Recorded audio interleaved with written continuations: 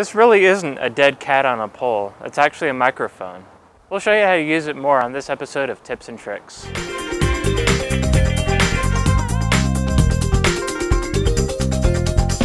So, this is a boom microphone. The primary component of this is the actual boom pole itself, which is attached to the rest of the microphone. We'll take off the windscreen here so we can see our different components.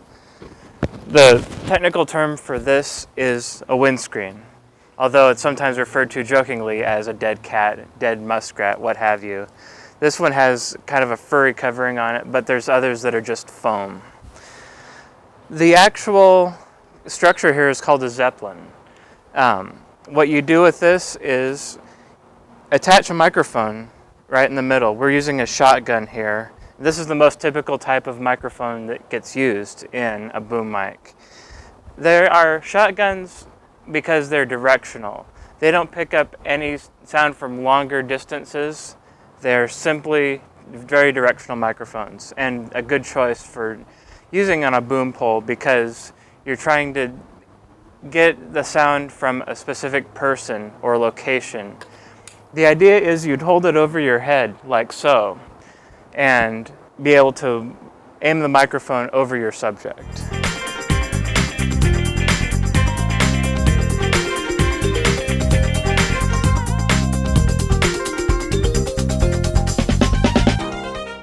This one uses just a regular XLR connection and then there's an XLR cable here at the bottom.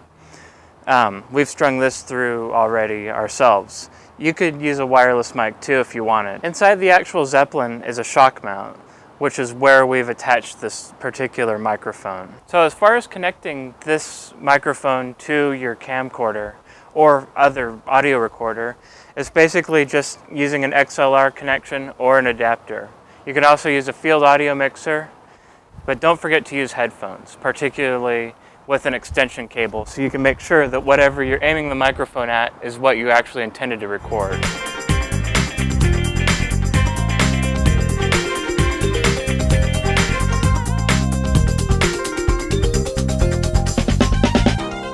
The main way to support a boom pole is over your shoulders.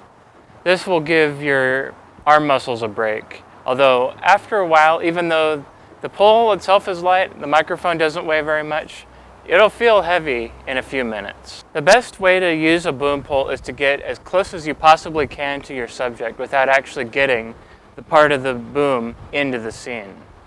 The best way to accomplish this is overhead, but then sometimes depending upon how the shot is composed, you might have better luck going from underneath but then you probably want to crouch down a little bit so that your body weight is supported better. Another important point is that like any object that's subjected to light, a boom will cast shadows. So it's really important to keep in touch with your camera operator to make sure that no shadows are being cast that'll show up on your video.